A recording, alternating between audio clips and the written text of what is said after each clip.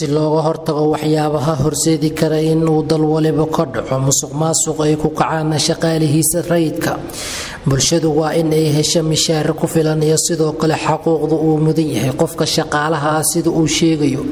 Aqoon-yahan nuur oo inta badan ka faallooda arrimaha bulshada.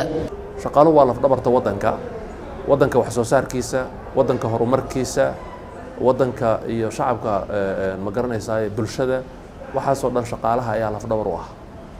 Shaqaaluhu xuquuq bay leeyihiin. Dowladdu xuquuqdooda inay ilaalisaa loo baahan yahay. Shacabkuna xuquuqdooda ilaaliyo. Haddii xuquuqda shacabka marar badan waxaad arkaysaa in la isku qaso ruuxa xuquuqdiisii iyo shaqadiisii. Shaqada waa responsibilityga. Ruuxa loogu leeyahay inuu la yimaado. Oo iyaga qudhooda xuquuq baa lagu leeyahay. Shaqaalaha xuquuq baa lagu leeyahay shaqaaluhuna xuquuq bay leeyihiin. Waa midda xadiisku uu leeyahay calayhi salaatu wasalaam nabigu acdi kula dii xaqin xaqahu ruux walbaba xaqiisa ha siiyo. Diinta islaamku saasay rabtaa. Marka shaqaaluhu waxay xaq u leeyihiin in shaqadooda ma garanaysaa mas'uuliyaddooda iyo shaqadooda in loo caddeeyo oo ruuxii uu waxa og yahay uu ku shaqayn karo. Waxa uu og yahay responsibilityga waa inay caddahay. Waxa lagula xisaabtami karo waa inay caddahay.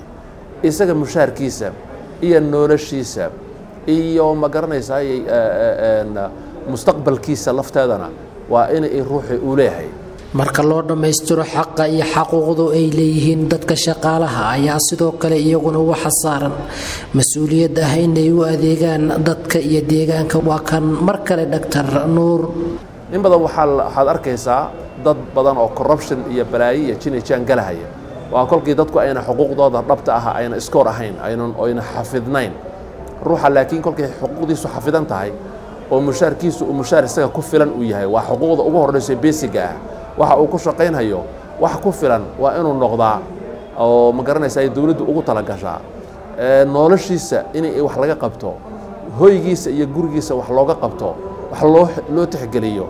Caafimaadkiisa in wax loo tixgeliyo oo dee ruux caafimaad buu u bahnaanaya adduunka marka xuquuqda shacabka xuquuqda shaqaalaha markii la ilaaliyo ayaa waxaa lagula xisaabtamaya shaqaaluhuna in ay ka soo baxaan waajibaadkii iyo mas'uuliyaddii saarayd oo shacabka xuquuq ku leh waddankuna xuquuq bay kuleeyihiin ku leeyahay shaqaalaha. Xafiiska uu ka shaqaynayo xuquuq buu ku leeyahay. Waxaad arkaysaa marar badan shaqaalaha barhkood inayna xafiiskoodiiba xataa tegaynin xafiiskoodii ayna si fiican u fadhiisanaynin. Xafiiskoodii mas'uuliyaddiisa ayna si fiican u qabanaynin. Xafiiskoodii wax badan ay isdaba marinayaan waxaasoo dhan waa waa xaqdarro weeye. Yani national interest markii la dhaho waddanka yani danihiisa shacabka danahooda dowladda dadkan o dhan waxan waa la isku xidhan yahay. Marka aad iyo aad waxaa loo baahan yahay in saa looga murgo. Run ahaantii waa mararka barhkood waad dareemaysaa in uu dhib badan jiro in uu ma garanaysaa baahi badan ay jirto shacabka baahidiisa iyo shaqaalaha baahidooda iyo shaqaalaha xuquuqdoodii shacabka xuquuqdiisii dowladda xaqeedii waddanka xaqiisii.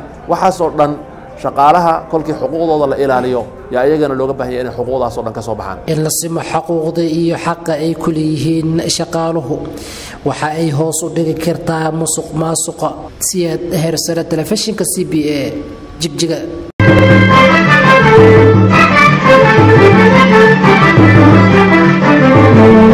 Hadal oo hadal oo hadal oo ku hadal bishii oo dhan toddoba dollar. oo keliya. Ku darso fariin kasta oo aad dirtaana waa kuu bilaash. Haddaba si aad ugu shubato adeega kaafiye fadlan garaac xidig siddeed eber siddeed afargees ama xidig laba eber laba afargees. Isticmaal shabakadda ugu ballaadhan geyga somalilan